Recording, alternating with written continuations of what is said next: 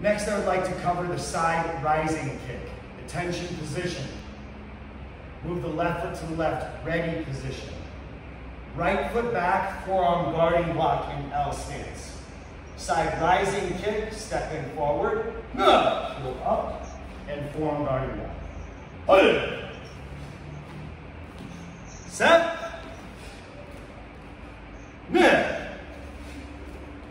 When we turn, we're gonna do a spot turn. Your right foot steps in, left foot or left foot in, and right foot out. Continue. Go up. Set. Turn around. Right foot in, left foot out. Forearm guarding block.